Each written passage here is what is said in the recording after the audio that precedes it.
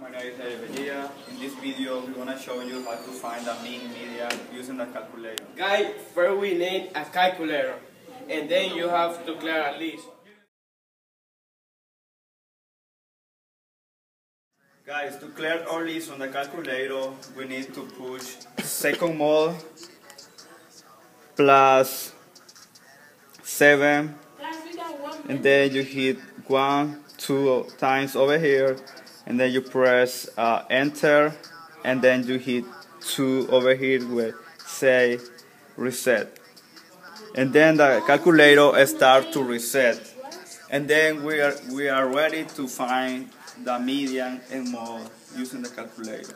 Guys, we got, we're gonna uh, machine. I wait. We have an example over here on the board. I'm gonna read right now. Okay, the example is example of six established faculty members.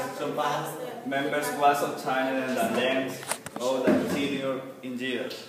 Okay, we recorded for each. Find the median and median for the numbers of the years at the college. Uh, the number that we have here are 7, 12, 19, 2, 8, 3. Hello, student. We wanna set this number in calculator. To find the, the and median, we have to set this number in the calculator. For this number calculator, we need to, to hit um, STAT 1 and then we put it, all the numbers like 7, enter, 12, enter, 19, enter, 2, enter, 8, enter, 3, enter. And the second step is you put second mode, STAT,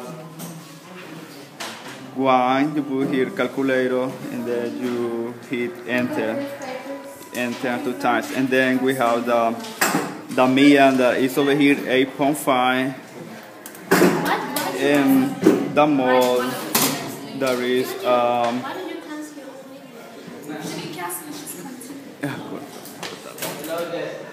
the, mean this data is 7.5 and the mean is 8.5.